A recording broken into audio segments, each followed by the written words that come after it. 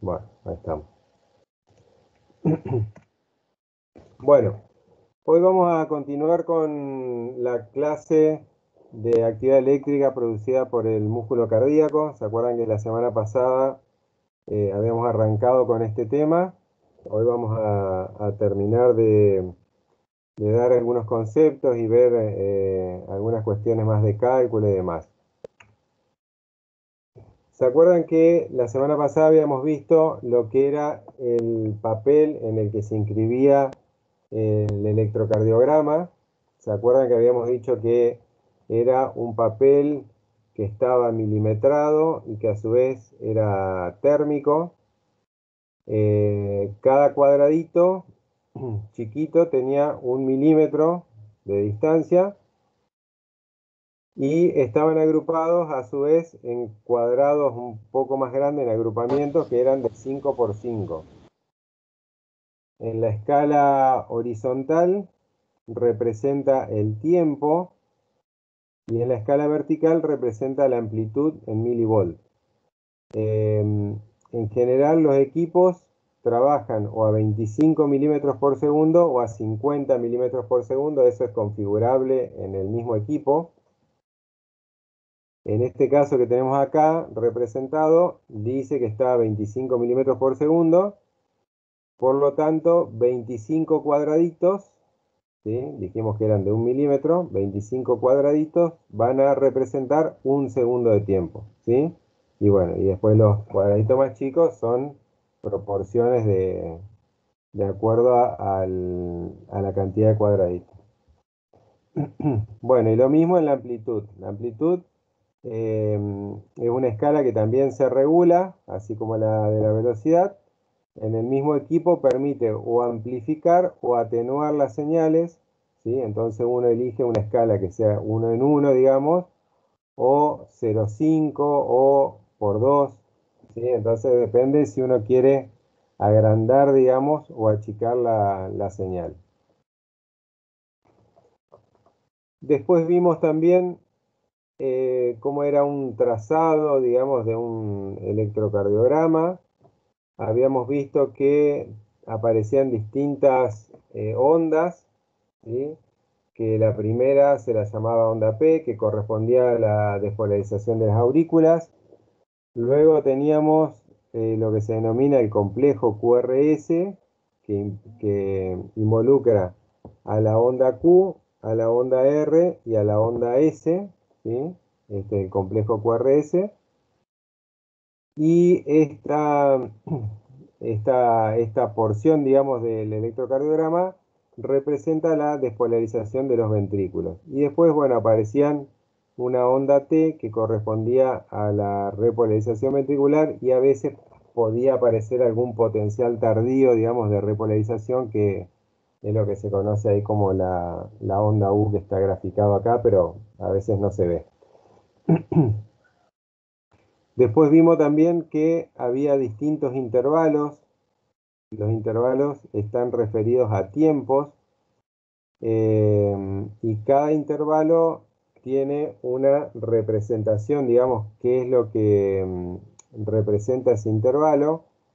Eh, y tiene también una cierta cantidad de tiempo, digamos, que eh, dentro de valores normales, uno puede decir que no tiene patología, si se va fuera de esos rangos normales, bueno, ahí habrá que estudiar un poco más, pero esto les puede dar algún indicio de que eh, si, es, si hay algún tipo de anomalía, ya sea en, la, en el sistema de conducción, eh, porque está ralentizado algunas fibras o porque eh, hay algún lugar donde el corazón no está conduciendo señal y bueno, entonces altera esos tiempos, además de que pudiera eh, o no alterar la, forma, digamos, que tiene el, el QRS. También vimos las derivaciones ¿Se acuerdan que vimos las que corresponden a los miembros y las precordiales? Dentro de las que son de los miembros, habíamos visto que representan al plano frontal, digamos una representación eléctrica en el plano frontal, Y teníamos las derivaciones bipolares, que eran la 1, 2 y 3. Y luego eh, las derivaciones aumentadas, que eran monopolares, que eran la aumentada de la pierna, mm, del brazo derecho, del brazo izquierdo y de la pierna. Y después habíamos visto también que teníamos derivaciones precordiales que eh, me mostraban, digamos, cómo era la, actividad eléctrica en el corazón en un plano horizontal. ¿Sí? ¿Vamos bien hasta ahí?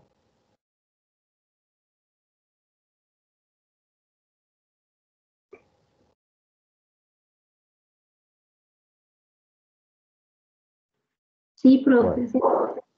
buenísimo, gracias.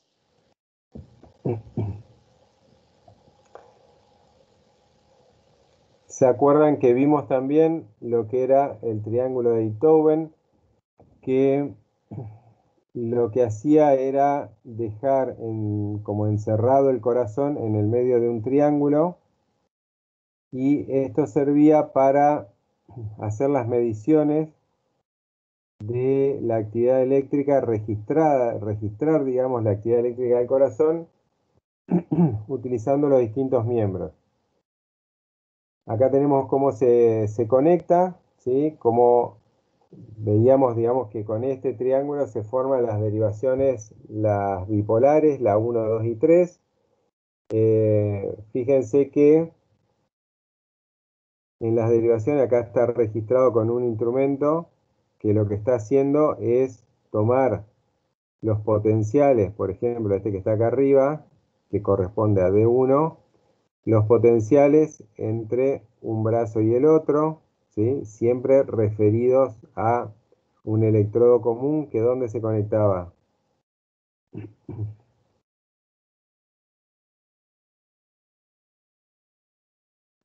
¿En la otra pierna? Sí, pero ¿en cuál? ¿En el común? ¿En la derecha puede ser? La derecha, exactamente. En la derecha va el electrodo común o el electrodo de referencia. Bueno, y acá veíamos cómo se formaban las derivaciones la 1, 2 y 3, que son las bipolares. Bueno, esto es más, eh, más bien este, para conocerlo, no porque este, necesiten ustedes saberlo para el uso o las aplicaciones del SG, pero eh, registrando dos de las derivaciones, la tercera la puedo llegar a calcular. ¿sí? Esto no es algo que vayan a hacer ustedes, pero bueno, eso se da por una ley de Kirchhoff, que mm, es una ley, digamos, que se utiliza en la parte eléctrica.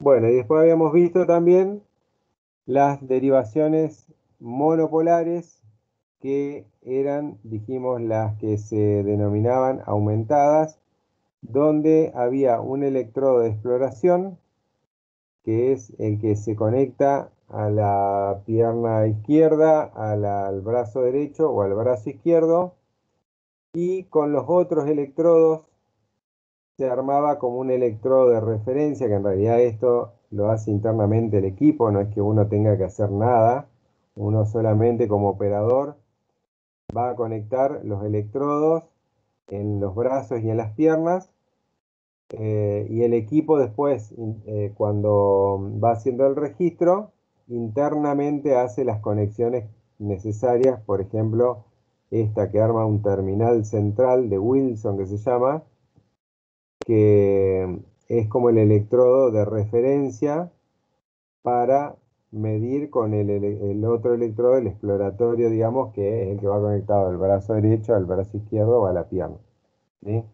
Entonces, esto lo hace internamente el equipo, simplemente para que sepan, digamos, que por qué es monopolar, porque yo, si bien estoy usando los mismos electrodos que uso para eh, registrar las derivaciones bipolares, internamente el equipo se configura de una forma donde tengo, en vez de dos electrodos exploradores, como en el caso de las bipolares, uno solo que explora y los otros arman el terminal central que que se utiliza de referencia. ¿sí? Por eso el nombre de que es monopolar. Bueno, y acá viene algo un poquito más complicado, sobre todo eh, cuando uno tiene que tratar de, imaginarse, digamos, cómo representar, que es un, sistema de representación de seis ejes eh, que me sirve, por ejemplo, para calcular el eje eléctrico del corazón.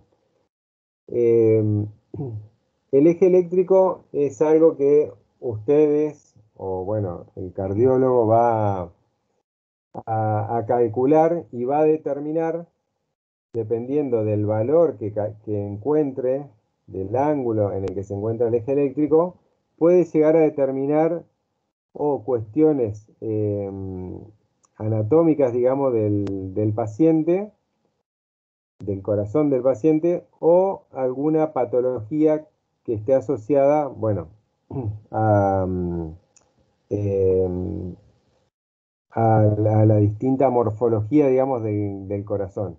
Entonces, eh, el eje eléctrico básicamente lo que nos va a decir es cómo está orientado eléctricamente el corazón. Si dijimos que normalmente las despolarizaciones del corazón tienen una secuencia, ¿por dónde arrancaban esas despolarizaciones?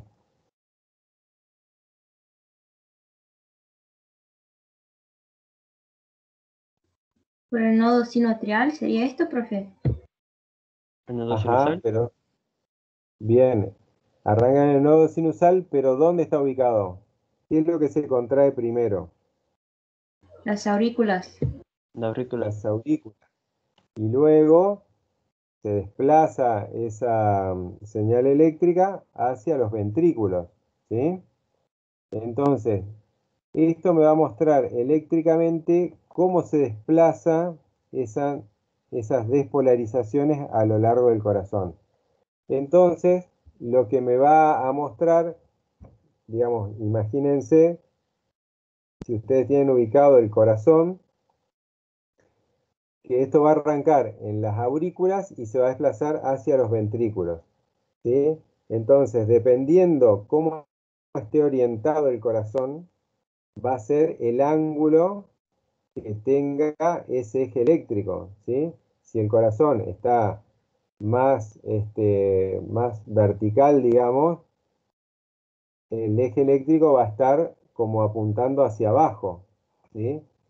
Si el corazón está más en una posición tendiendo horizontal, el eje eléctrico va a estar como más recostado, digamos, eh, marcando un, cierto ángulo eh, con la horizontal. No sé si me explico.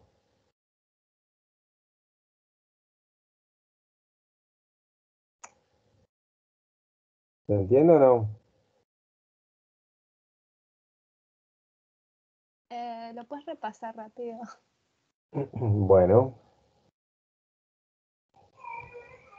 Imagínense.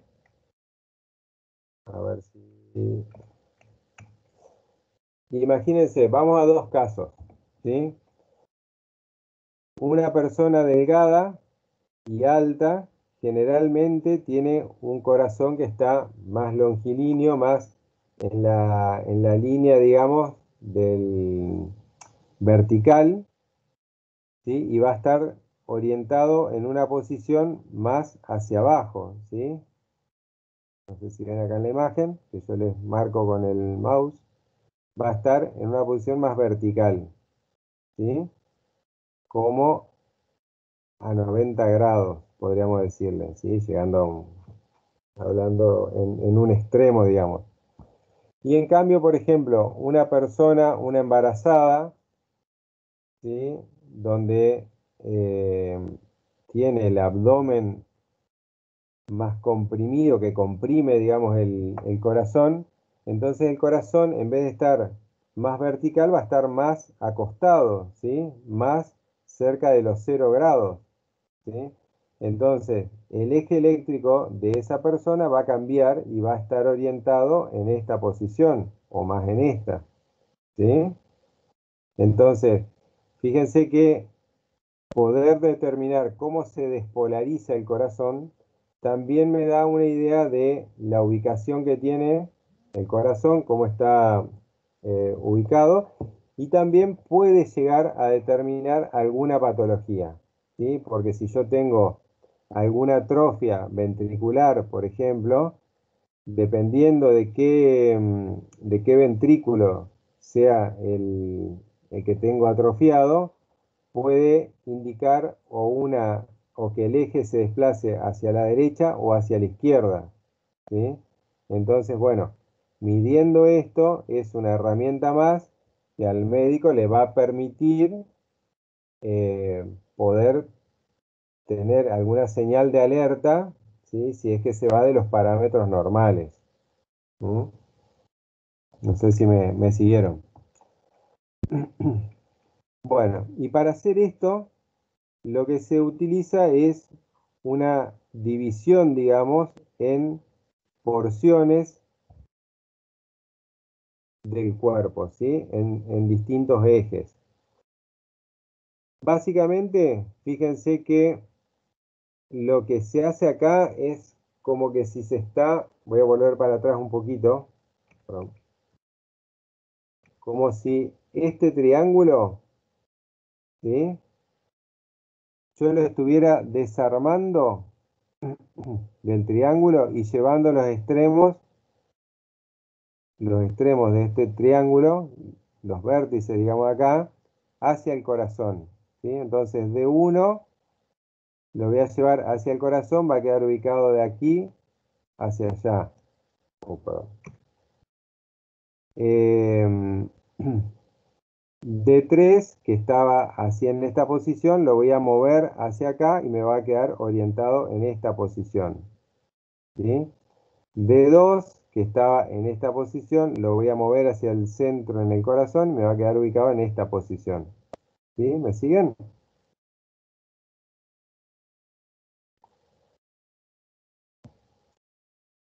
Sí, profe. Así que así que el hexágono tipo con con el triángulo así después las vértices para adentro.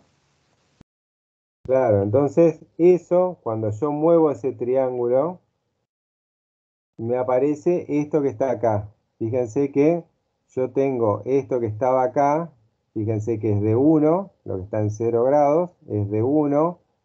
De 2, ¿se acuerdan que era el lado del triángulo que tenía este ángulo? ¿sí? Está a 60 grados esto es, representa D2, y este eje, que era el otro lado del triángulo, que estaba por acá, yo lo llevé al centro del corazón, y ahora está a 120 grados y representa D3. ¿Sí? ¿Vamos bien hasta ahí? Me perdí con lo de, de 1, de 2 y de 3. En el triángulo de Itowen yo tenía el, lado, digamos, del triángulo que estaba horizontal, que estaba arriba, era de 1.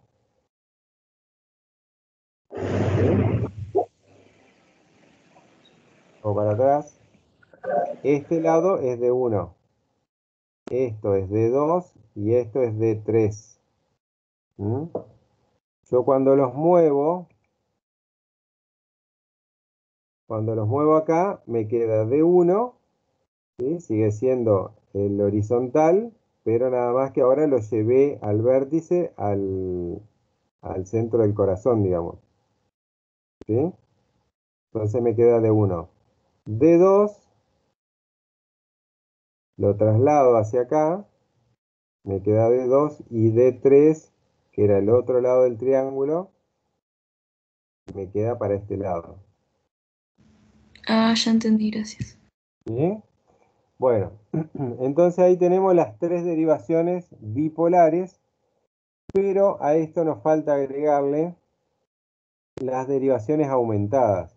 Las derivaciones aumentadas eran del brazo derecho, del brazo izquierdo y de la pierna. ¿sí? Entonces, esas derivaciones yo las voy a tener con el centro del corazón. La de la pierna sería de acá hacia abajo, quedaría a 90 grados. La del brazo izquierdo quedaría hacia acá y la del brazo derecho quedaría hacia allá. Entonces fíjense que ahí es como que se nos dividió en distintos sectores el cuerpo y es lo que se llama ese sistema que se forma ahí eh, exaxial, porque tiene seis ejes, ¿sí? que son los que dijimos recién, las tres derivaciones bipolares y las tres aumentadas. ¿sí? ¿Me hicieron?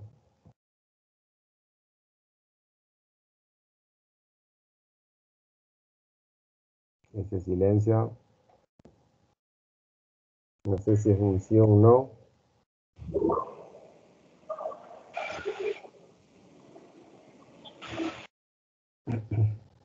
Bueno, vamos a creer que sí. Bueno, si se fijan, vamos a ver, simplemente ahora lo vemos y ahora vamos a ver cómo se utiliza esto. Podemos ver que hay algunos ejes que quedan perpendiculares, ¿sí? Como por ejemplo D1, que es este que está acá, que está a 0 grados, va a quedar perpendicular con el aumentado de la pierna que está a 90 grados. Bueno, y hay otros que también quedan con respecto a, D3 y a D2. Bueno, este es el sistema completo, que es lo que recién vimos. ¿sí? Fíjense que acá tenemos el pie y D1 están a 90 grados uno con respecto al otro. Mm. Entonces,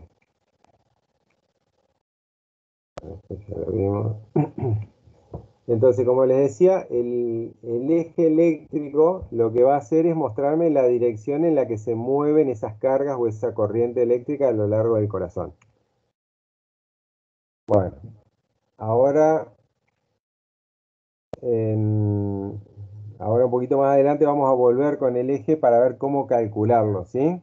Pero quédense con, esto es lo importante que me interesa, que tengan presente que D1, que está acá, queda perpendicular con ABF, con el, la aumentada de la pierna. ¿sí?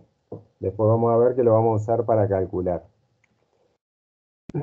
Bueno, algunos valores para tener en cuenta eh, con respecto a, eh, eh, a la morfología, digamos, que tiene el, el, electrocardiograma, considerando que tenemos un ritmo sinusal, ¿se acuerdan cuál era el ritmo sinusal?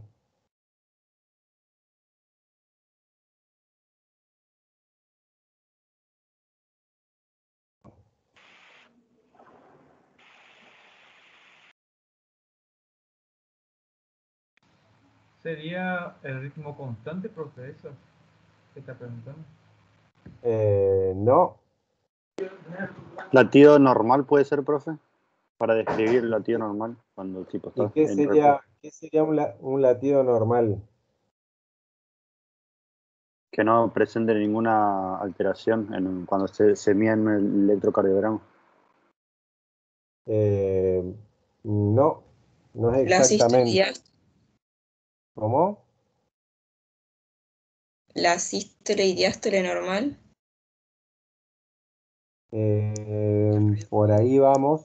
Del nódulo sinusal, no sé.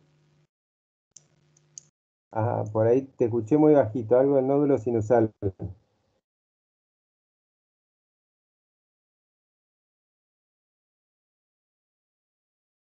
No sé quién dijo por ahí algo del nódulo sinusal.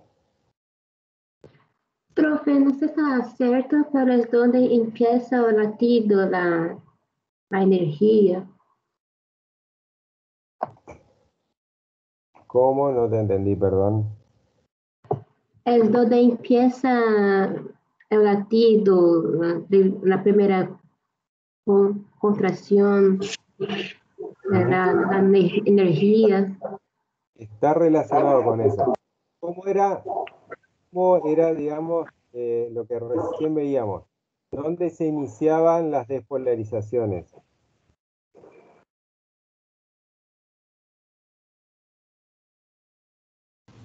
En el ventrículo derecho, la aurícula derecha.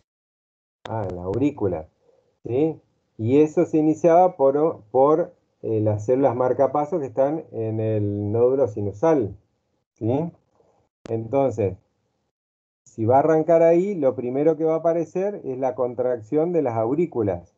¿sí? Y luego se van a contraer, o sea, está todo el fenómeno eléctrico, digamos, que hace que se contraigan los ventrículos. Y eso dijimos que en el electrocardiograma aparecía como la onda P, que es la despolarización de los ventrículos, de las aurículas, y luego el complejo QRS, que es la despolarización de los ventrículos, y luego la onda eh, T, que es la repolarización. ¿sí? Entonces, el ritmo sinusal es cuando el trazado del SG tiene, arranca con una onda P, que corresponde a la despolarización de las aurículas, luego tiene el complejo QRS, que es, una, es la despolarización de los ventrículos, y después la onda T. ¿sí? Si esto no fuera con esta secuencia, quiere decir que acá está faltando, por ejemplo, el inicio que se debe a la despolarización de las aurículas en el nodo sinusal. Entonces, para que sea un ritmo sinusal tiene que tener esta morfología, la onda P, QRS y T. Después habíamos visto que había un intervalo, digamos, que era normal, que era entre 60 y 100, y si no estaba una bradicardia por debajo de 60 y eh, una taquicardia por arriba de 100. ¿Mm? Bueno, en un ritmo sinusal, eh, las ondas P van a ser positivas en las derivaciones de 1 y de 2 y la aumentada de la pierna. ¿sí? Esto después cuando ustedes vean, no es la finalidad, digamos, nuestra ahora, pero seguramente más adelante lo van a ver, eh, que esto van a cambiar, digamos, ondas que son positivas en una derivación pueden llegar a ser o son negativas en otras derivaciones. ¿Sí?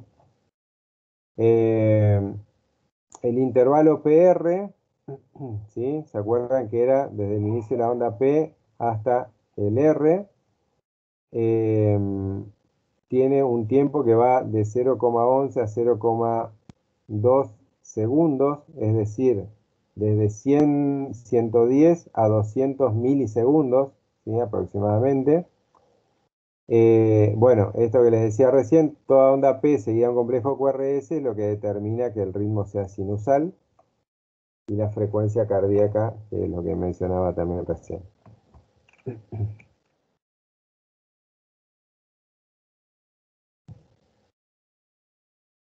Bueno, esto es un poco algunas cosas que ya fuimos adelantando. Eh, definiciones, fundamentalmente acá como para ver lo que son segmentos, ¿sí? que son partes del trazado que son isoeléctricos. ¿sí? Es decir, que no, no hay variación en la tensión, es como plano la gráfica que se ve, que es por ejemplo el segmento ST. Y los intervalos son los que comprenden a ondas y segmentos, ¿sí? que es lo que veíamos recién. Por ejemplo, el intervalo PR corresponde a la onda P y al segmento que queda hasta la onda R. Intervalo RR es desde una onda R hasta la próxima onda R. Intervalo QT, desde el inicio del QRS hasta este, la finalización de la onda T. Son distintos tiempos eh, que se definen porque cada uno representa algo distinto y los, los tiempos, digamos, ya están estandarizados algunos de esos valores. Profe, Sí, y viste después de em, la... Ay, se me fue el nombre, la montañita esa que tiene la T. Perdón. Hay un. ¿no sería un segmento ahí a la derecha o, o cómo no tiene ningún nombre esa parte? La parte que es plana. después de la T. Eh, sí, eso es un segmento, sí, pero mm, no, no tiene, no tiene un nombre, digamos. Ah, bueno. Sería el segmento, digamos, de, de T a P. Esto que está acá, decís vos. Sí, de eso la onda, P. Sí, no, no, no tiene ninguna, ninguna denominación, digamos. Mm. Pero sí es un segmento. Bueno, vamos a ver cómo hacemos, por ejemplo, para medir con un electro, cuando tenemos el trazado de un electro,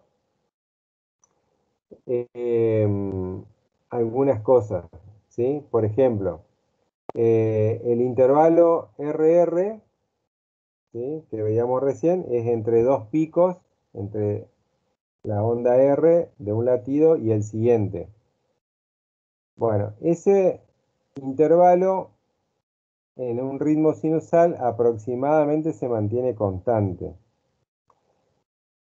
Hay distintas formas de, calcular cuál es la frecuencia cardíaca, porque nosotros podemos medir tiempos, digamos, en el eje eh, horizontal, pero lo que nos interesa medir por ahí, además de esos tiempos, es cuál es la frecuencia cardíaca para poder determinar si estamos en una taquicardia, una bradicardia o dentro de valores normales.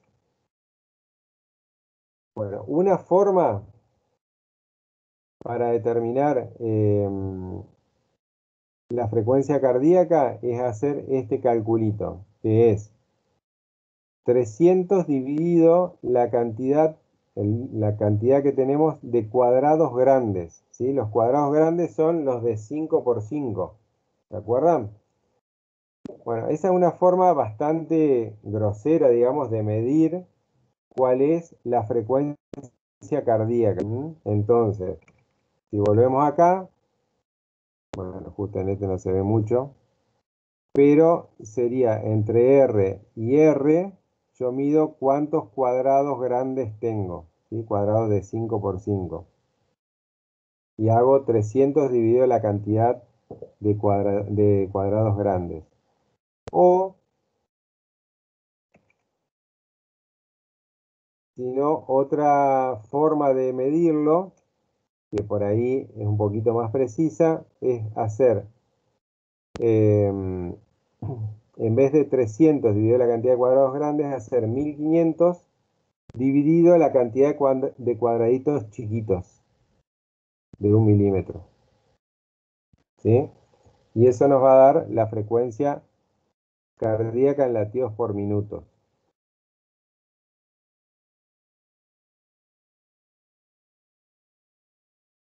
Bueno, ahora igual más adelante creo que mm, lo volvemos a ver a eso. Bueno, el intervalo PR, estos son, simplemente se los menciono, digamos, acá para que tengan una idea, pero les vuelvo a decir, digamos, esto es algo más que lo van a estudiar o en fisiología o en fisiopatología, cuando vean esto. Eh, pero bueno, como les decía, el intervalo PR o PQ es el retraso fisiológico que tiene por el, debido al paso a través del nodo aurículo ventricular. ¿Sí? ¿Se acuerdan que esto yo les había comentado en la otra clase que ahí se produce un retraso para que se pueda terminar de contraer bien las aurículas antes de, de contraer los ventrículos? Es como para optimizar, digamos, la función de bomba del corazón. Bueno, acá tienen intervalos, eh, las duraciones. Aproximadas para frecuencias entre 60 y 70 latidos por minuto. Y eh, si se dan tiempos mayores a 0,2 segundos, puede ser o puede determinar que hay un bloqueo ¿sí? aurículo-ventricular. Un bloqueo es un retraso, digamos, en la conducción eléctrica entre las aurículas y eh, los ventrículos.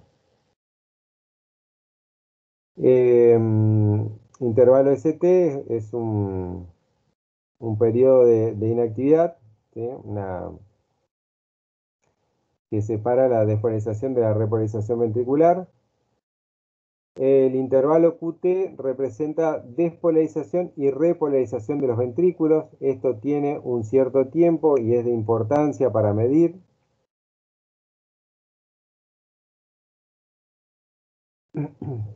La onda P, algunas otras características, esto les vuelvo a decir, son más bien indicativos para que tengan y sepan de referencia, y no porque tengan que sabérselo ahora, digamos. Eh, dijimos que la despolarización ventricular tiene una forma más bien redonda, la duración de 100 milisegundos, el voltaje, es decir, la amplitud que tiene, es de 0,25 milivolt, positiva en casi todas las derivaciones. El intervalo PR, ¿cómo se mide? Desde el inicio de la onda P hasta el inicio del complejo QRS. Es isoeléctrico, tiene la duración. Eh, lo que me da, bueno, es el tiempo de conducción auricular y tiene la característica que disminuye con el aumento de la frecuencia cardíaca. Complejo QRS, un poco cómo se considera la onda Q, que es la primera deflexión negativa, la onda R y la onda S, que es la que sigue a la onda R, la duración, esto vemos que en las derivaciones precordiales van aumentando la amplitud de ese complejo QRS, de la onda R, desde B1 a B5. Eso se acuerdan que los otros días lo veíamos por ahí. Mm, es lo que tenemos acá. Va aumentando la onda R hasta B5. Bueno, estas son algunas características como para que vean, digamos, que eh, la morfología, digamos, que tienen los, los, trazados del electrocardiograma son importantes y es, es lo que van a estudiar ustedes como médicos para analizar distintas patologías que se pueden estar asociadas a, distintos eh, fenómenos, digamos, que pueden ser eléctricos o puede ser algo, alguna patología de otro tipo.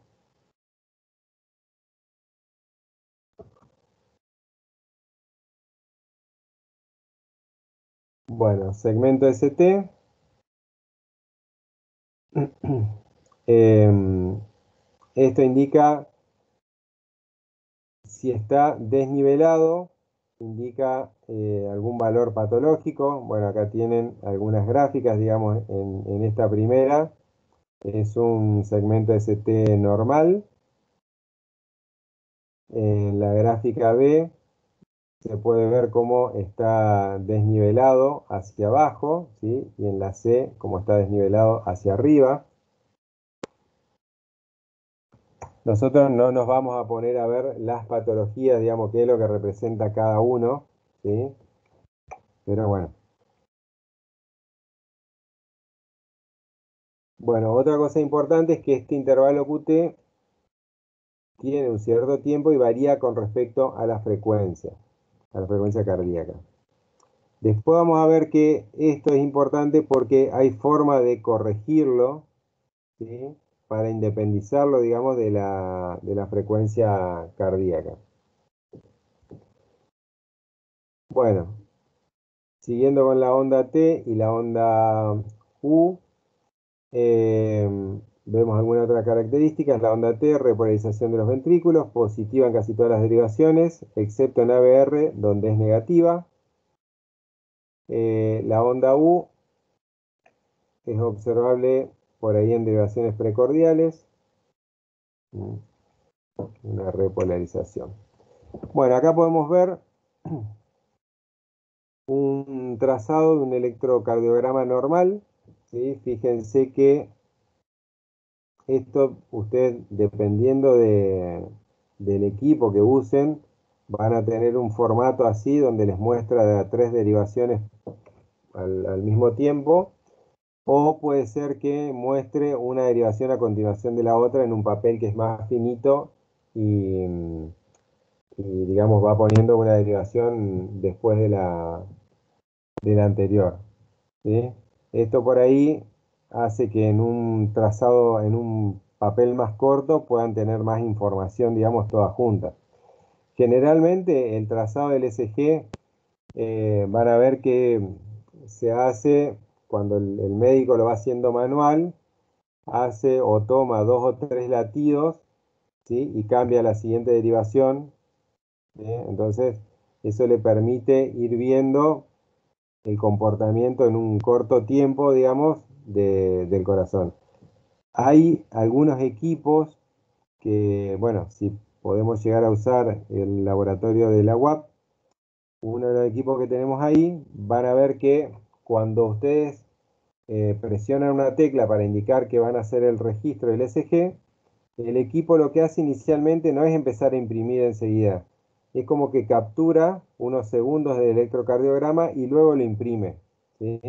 Eso porque eh, lo que hace es capturar al mismo tiempo las dos derivaciones y después las imprime. Otros equipos por ahí no hacen eso, sino que muestran eh, como desfasado, digamos, muestran lo que pasa ahora en el corazón, dos o tres latidos, los dos o tres latidos siguientes con la próxima derivación, dos o tres latidos siguientes de la próxima y así.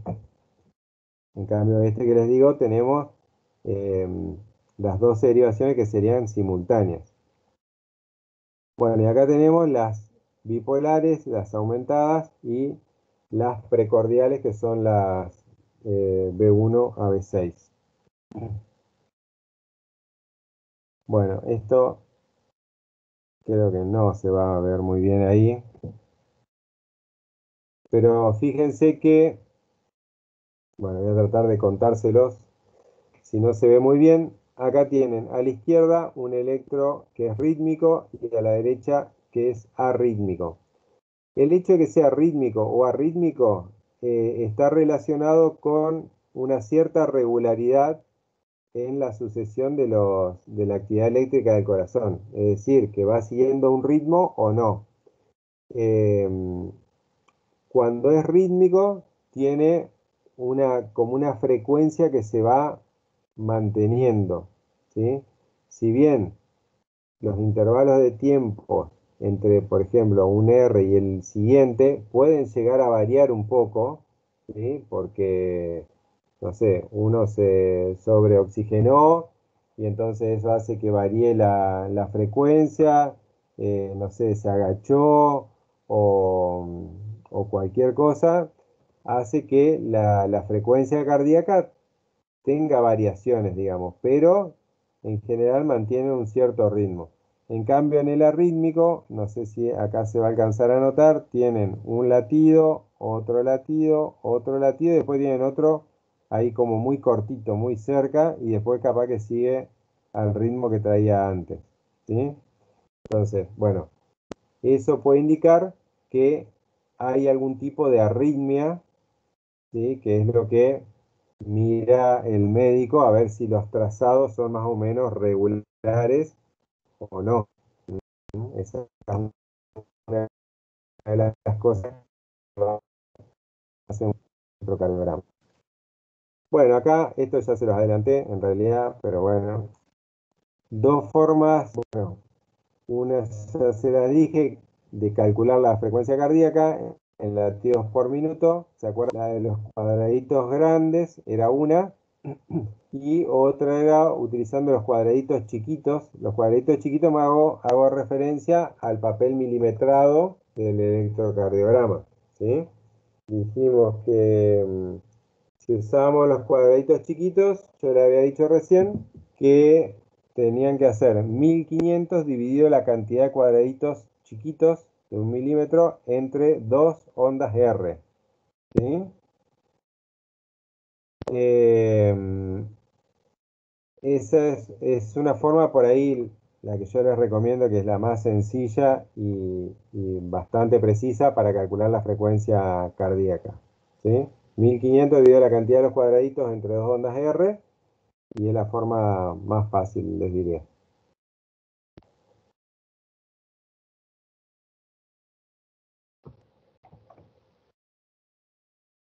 Bueno, vamos a ver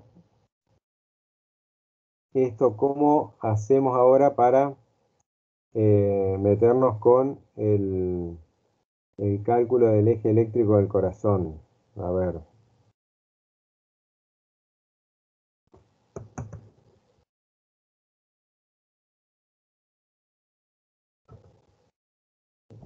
Bueno, como le decía hoy, ¿cómo vamos hasta acá? Yo por ahí me estoy apurando porque ya no nos queda mucho tiempo.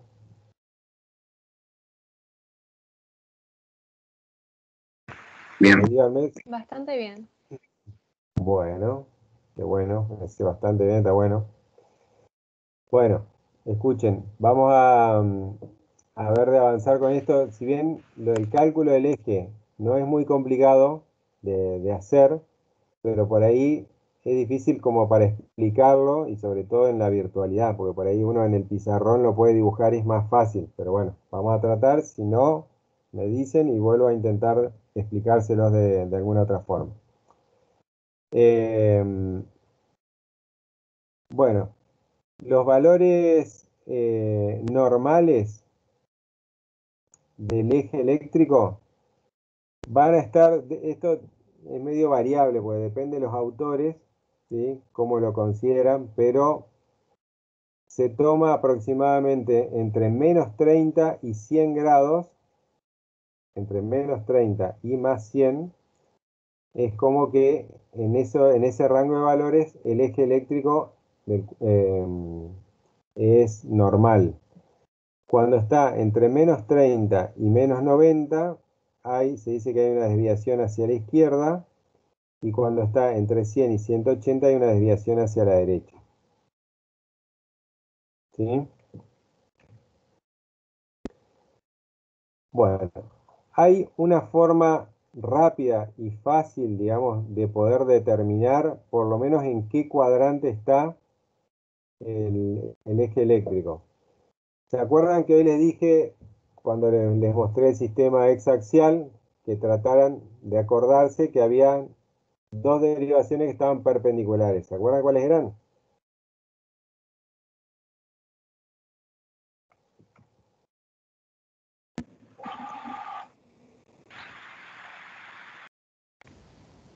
Una era la ampliada que iba a la extremidad, Ajá, pero ¿a cuál extremidad?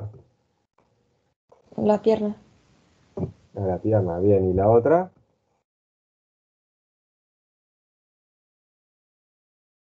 Ah, el brazo izquierdo. No. ¿De uno? Dos de... Bien. La derivación 1 y la aumentada de la pierna. Bueno, muy bien. Fíjense acá que ustedes tienen en lo que es 0 grados, ¿sí? acá como que se limpió todo el resto de, la, de los otros ejes que estaban, ¿sí? y solamente quedó el eje que corresponde a D1 y el que corresponde a la aumentada de la pierna. ¿sí? Esto sería, hacia acá sería la izquierda, digamos, si ven en la derecha en el gráfico, sería el brazo izquierdo del paciente, y hacia acá abajo es la derivación de la pierna. Entonces, si el QRS, ¿sí? porque lo que vamos a medir acá es la amplitud del QRS. Si el QRS es positivo en D1 y es positivo en la aumentada de la pierna, ¿sí? entonces el eje va a estar ubicado en esta zona. ¿sí? Como este valor es 0 grados y acá es más 90, y dijimos que el eje normal estaba entre menos 30 y 100, ¿sí? si está entre 0 y 90, sería, estaría dentro del rango normal. ¿sí? Profe, perdón, ¿podría Ajá. repetir eso último? Acá lo que tenemos es D1 y la aumentada de la pierna, ¿sí? Acá están los 0 grados, acá tenemos más 90 grados, ¿sí? Y acá tenemos, bueno, más o menos 180 lo mismo.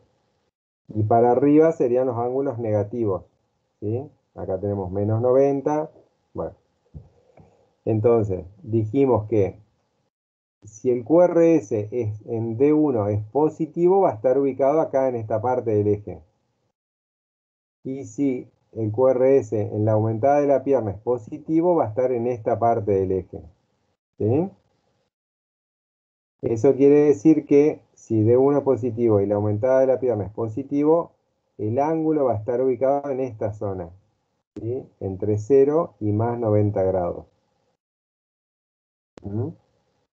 Entonces, si está entre 0 y más 90, habíamos visto que ese rango correspondía a un eje normal. ¿Sí?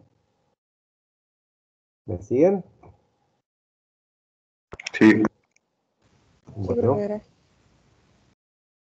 Ahora, vamos a analizar otro de los casos. Si D1 es positivo, pero la aumentada de la pierna me da negativo, voy a estar para acá arriba, voy a estar ubicado en esta zona del... Uy, perdón. En esta zona, en este cuadrante, ¿sí? Y este cuadrante significa que está con el eje desviado hacia la izquierda. ¿Sí? Y si me da para este otro lado, que sería D1 negativo y la aumentada de la pierna positivo, el eje es, está desviado hacia la derecha. ¿Sí? ¿Se entiende?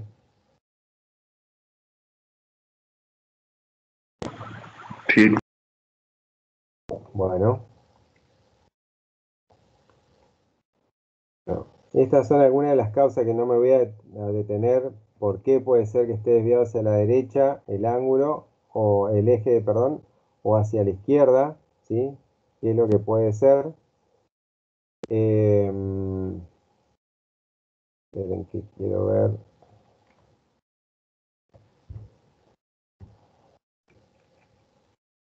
Bueno, eh, quería mostrarle algo ahí, cómo medir el eje, pero en todo caso se los voy a mandar cómo medir el QRS, esto que yo le decía que si es positivo o si es negativo. Después les mando un link a una página donde pueden ver eh, justamente esto, cómo medir el, QRS. ¿sí? En realidad lo que hacemos es contar la cantidad de cuadraditos que tengo eh, para arriba y restar los que tengo para abajo en un QRS en D1 y lo mismo en la aumentada. Y entonces ahí voy a sacar, si la cantidad de cuadraditos que tengo para arriba es mayor que las que tengo para abajo, en el mismo QRS, ese QRS es positivo. Y si es al revés, digamos, tengo más cuadraditos hacia abajo que hacia arriba, ese QRS es negativo. Y es lo que yo uso para ver si estoy en la parte positiva del eje o negativa. ¿Sí? Pero después les mando un link para que lo vean, porque por ahí va a ser más, más fácil y, y quiero ver un, un poquito lo otro que sigue antes de, de terminar. ¿Sí? Bueno, un poco como para ir cerrando. Em, fuimos viendo, digamos, qué representa cada uno de los trazados, de las ondas, de los intervalos, los segmentos, ¿sí? por lo menos a grosso modo, dentro de un electrocardiograma. Vimos que hay valores que eh, son normales, ¿sí? hay rangos de valores que se los consideran normales, eh, fuera de esos valores normales, bueno, podrá indicar distintas patologías dependiendo de lo que estemos considerando. Ahora, cuando el médico va a hacer una lectura del ECG, una valoración de ese registro, eh, lo que va a hacer es como una serie de pasos, ¿sí? que es lo que después registra en el informe. ¿sí? Lo primero que hace es calcular la frecuencia cardíaca para determinar si, primero, si es un ritmo sinusal o no. ¿sí? Eso se acuerdan que veíamos eh, que teníamos la onda P seguida de un QRS. Eh, luego, bueno, calculamos eh, la frecuencia cardíaca por alguno de los métodos que les mostré anteriormente. Por ahí yo me inclino por el de 1500 dividido la cantidad de cuadraditos, que es lo más fácil. Em, y después se hace, bueno, un análisis del ritmo y de los distintos intervalos de tiempo, de amplitudes, se calcula el eje eléctrico, ¿sí? se ve alteraciones en el segmento ST ¿sí? y alguna otra alteración. Y con toda esa información, cuando el médico lee, ¿sí? que por ahí esto lo hace de un vistazo nada más cuando ya está entrenado, puede determinar si el corazón, si la persona tiene, bueno, un ritmo normal, si hay alguna taquicardia, si hay algún, eh, está bradicárdico, si tiene una arritmia, eh, si hay algún bloqueo de alguna rama, distintas patologías que se pueden observar a través de la lectura del, electrocardiograma. Bueno, eso es un poco lo que les quería decir. Esto es la explicación de esto que ya les dije recién. Bueno, acá tenemos como para hacer, si se animan, em, un pequeño ejercicio antes de que terminemos. Fíjense que acá tenemos dos trazados de electrocardiograma. ¿Se alcanza a ver bien los cuadraditos? Más o menos. ¿Más o menos? Sí, sí, veo. Bueno. Bueno. Entonces lo que les pido acá es que calculen de estas dos, eh, eh, de estos dos SG, calculen la frecuencia cardíaca, ¿sí? Fíjense primero, por acá dice taquicardia sinusal y bradicardia sinusal. Eso es porque ya estamos viendo que esto tiene un ritmo sinusal porque hay una onda P seguida de un QRS. ¿Sí? Ahora, lo que les pido es que calculen cuál es la frecuencia cardíaca de esto que dice taquicardia y esto que dice bradicardia. ¿Mm?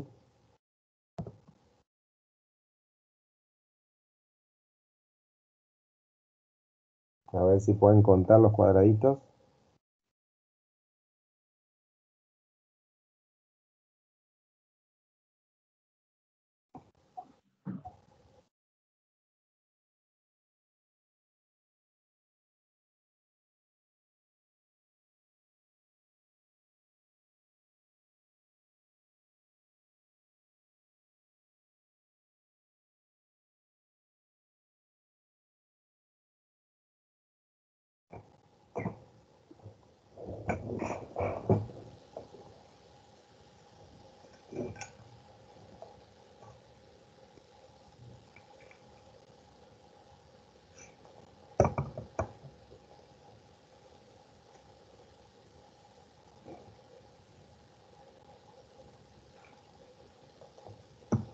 Bueno, ¿cuánto les dio la taquicardia de arriba? 150. 150. Mm, a ver. 1500. Entre. Yo conté 10 cuadritos, pero no sé. Eh, Ahí me dio 93. ¿Cuánto, perdón? 93. Bueno, no sé cuál, en cuál contaste los me decías 10. En el cuarto. ¿En este de acá? En el del medio. No, en, el, en es- ese. ¿En este de acá? A ver, tenemos 5. Sí, en realidad, bueno, 11 sería. Pero bueno, más o menos.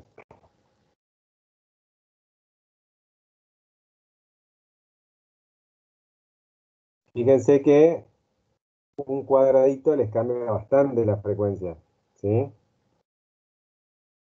Pero como a nosotros lo que nos interesa no es el número exacto, si es, eh, si tiene 70 latidos o si tiene 72, porque prácticamente es lo mismo, eh, lo que les interesa es simplemente ver que esté dentro de los rangos normales. ¿sí? Bueno, de cualquiera de las dos formas, porque depende si por ahí contar un cuadrito de más o un cuadrito de menos, les da para arriba de 100. ¿sí? Después a 115, 130, por ahí. Ah, bueno, había alguien que le dio 90. No sé cuál habías medido. No, sí corté eh, cuadraditos en mano. Ah, bien. Bueno, y en la bradicardia está de acá abajo.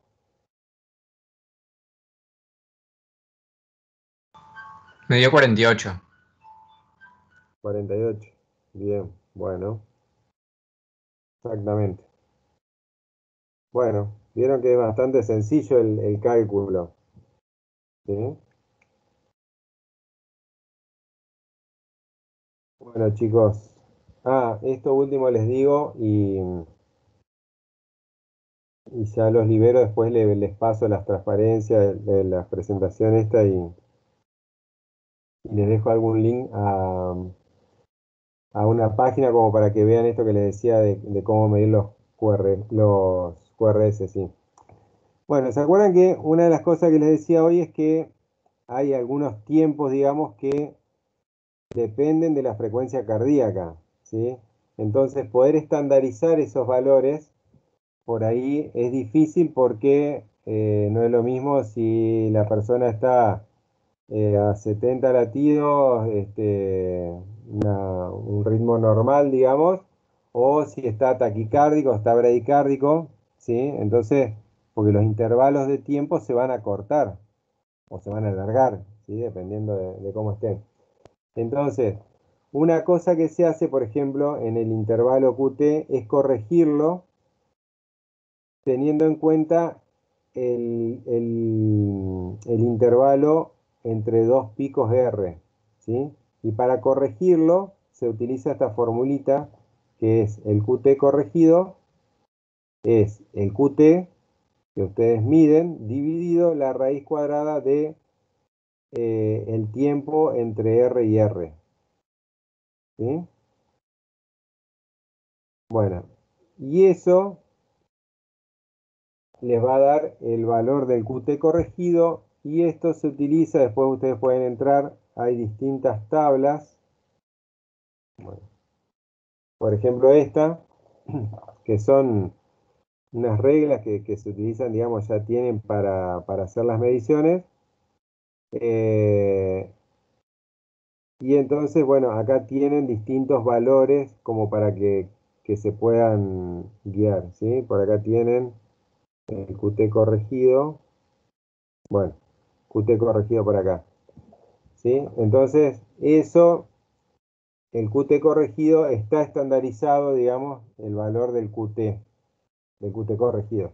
¿Sí? Entonces ya pueden comparar, digamos, si ese QT corregido está dentro del rango normal o no. ¿Mm? Entonces, eso era algo que, mm, que quería mostrarles por ahí. Bueno, chicos, quedaron algunas cositas como para seguir viendo por ahí esto que les decía del eje eléctrico. Acá tienen este mm, un poco más la, explicación de lo que estábamos viendo. Eh, esto yo se los dejo igualmente después para que lo vean. Esto, después ya vamos a ver si hacemos algún ejercicio donde tengan que ustedes hacer una valoración de un electrocardiograma, ¿sí?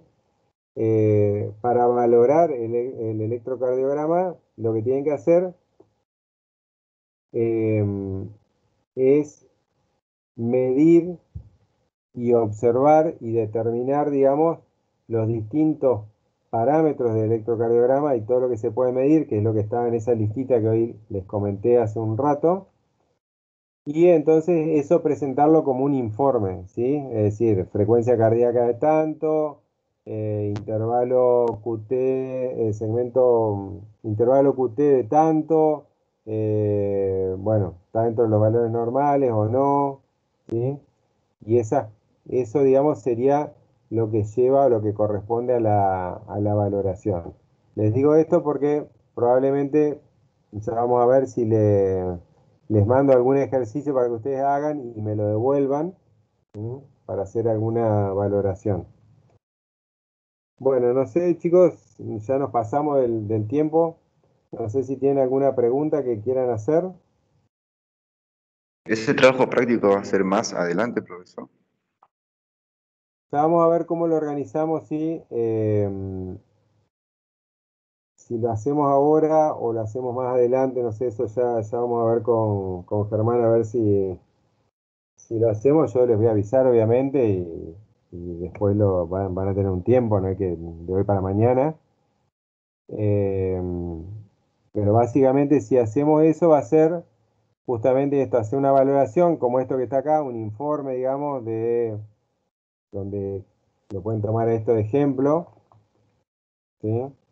Eh, donde se miden distintas cuestiones del electrocardiograma, lo que, que estuvimos viendo, ¿sí? y, y, bueno, y poner cuáles son los valores normales contra los que comparan, por ejemplo, para decir que está bien o está desfasado y demás.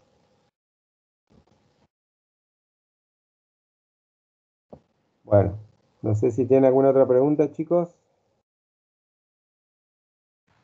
Profe, tengo una pregunta en relación a cómo hacer la, la cuentita, pero para la parte de contar los, los cuadraditos. ¿Eso de Ajá. contar entre cada frecuencia sería eso? ¿Cómo? ¿Contar qué? Perdón, no te entendí. Estos cuadraditos que tienen que contar son todos que aparecen entre cada uno de las, de las frecuencias. ¿Los cuadraditos para la frecuencia cardíaca? Sí, Sí, esos son los cuadraditos, los contás entre dos ondas R seguidas.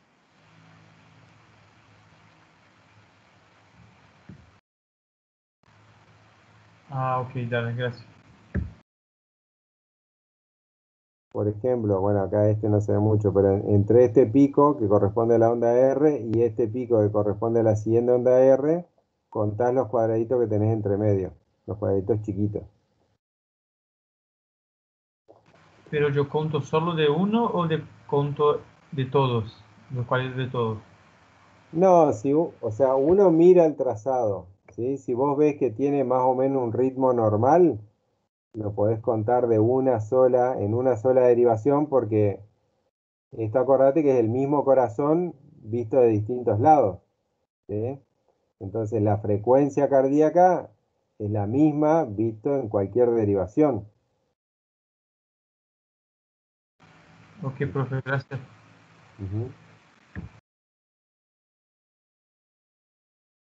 Chicos, ¿alguna otra pregunta?